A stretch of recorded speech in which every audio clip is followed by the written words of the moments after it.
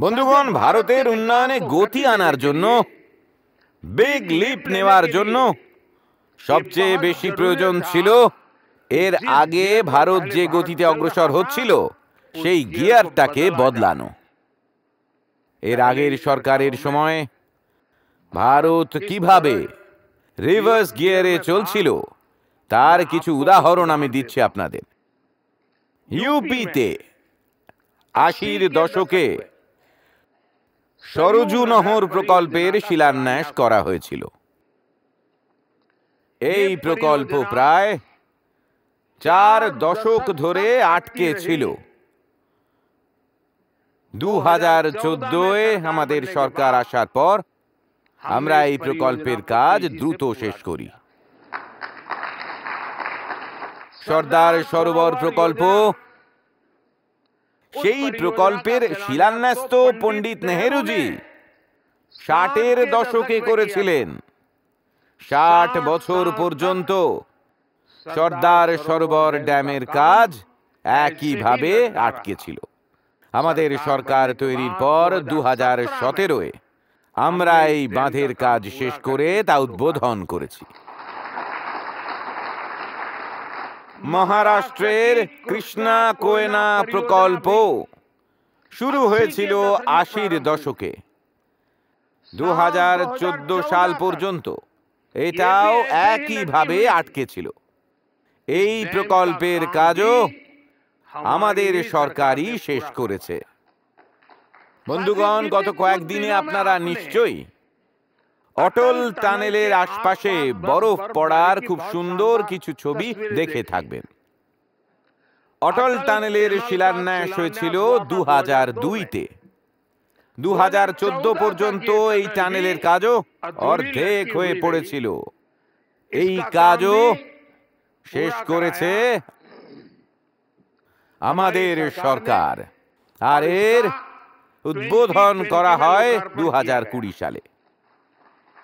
অসমের বগি বিল ব্রিজের কথাও নিশ্চয়ই আপনাদের মনে আছে। এই ব্রিজও উনিশশো আটানব্বই সালে তৈরি হয়েছিল। সরকারে আসার পর আমরা এর কাজ দ্রুত শেষ করেছি আর কুড়ি বছর পর দু হাজার আঠেরোয় আমরা এর উদ্বোধন করেছি। Eastern dedicated freight corridor. দু হাজার আট সালে তৈরির স্বীকৃতি পায়। এই প্রকল্প আটকে ছিল আর পনেরো বছর বাদে দু হাজার তেইশ সালে আমরা এর কাজ শেষ করেছি। আমি আপনাদের এই রকম অন্তত পাঁচশো প্রকল্পের নাম বলতে পারি।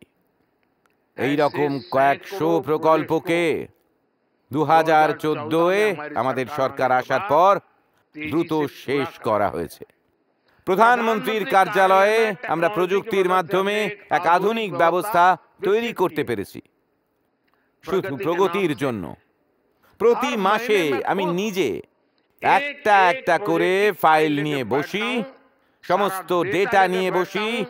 কয়েক দশক ধরে আটকে থাকা প্রকল্পের সমীক্ষা করি আর আমার সামনে অনলাইনে সমস্ত রাজ্যের মুখ্য সচিব আর ভারত সরকারের সমস্ত সচিব গোটা সময়টা আমার সামনেই থাকেন এক এক করে প্রতিটা জিনিস বিশ্লেষণ করা হয়।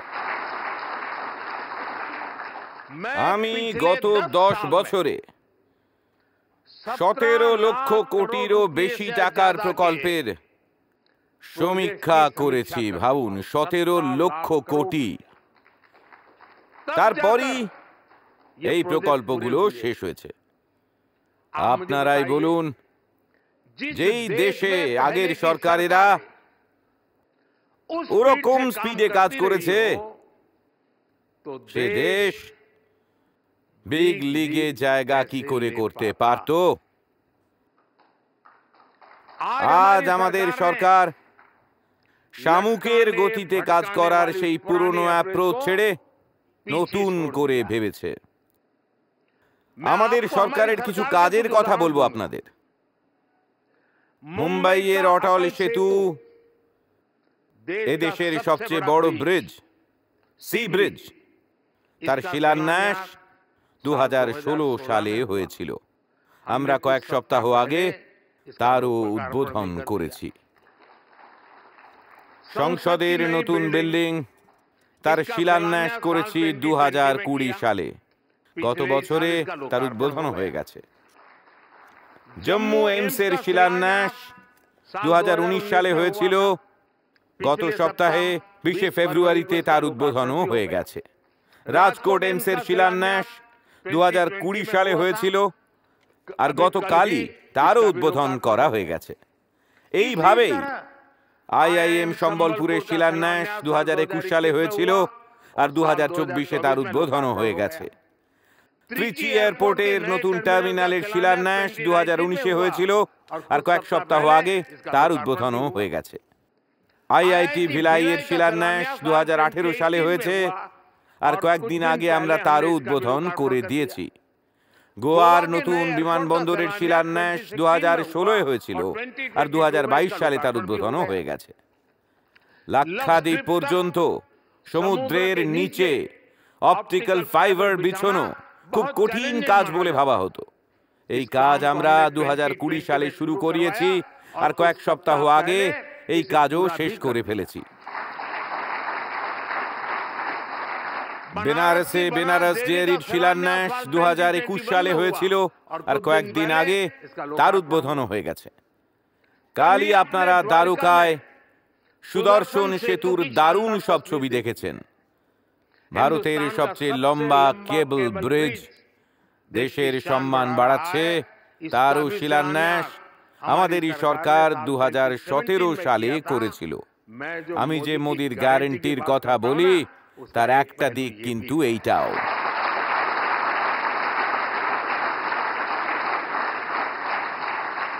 যখন এই স্পিডে কাজ হয় মানে দ্রুত কাজ করার সৎ ইচ্ছা থাকে।